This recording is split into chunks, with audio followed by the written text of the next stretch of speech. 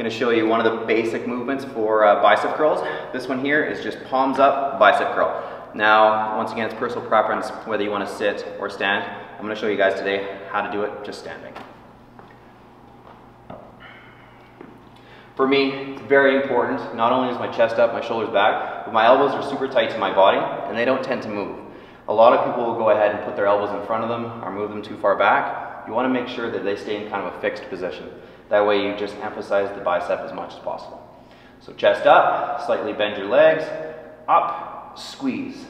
The contraction is very, very, very important. Come down as far as you can just before you lock out. Back up and squeeze. This here, it's not about how much weight you can lift, but about thinking about that muscle as much as possible and flexing the crap out of it. That is dumbbell bicep curls.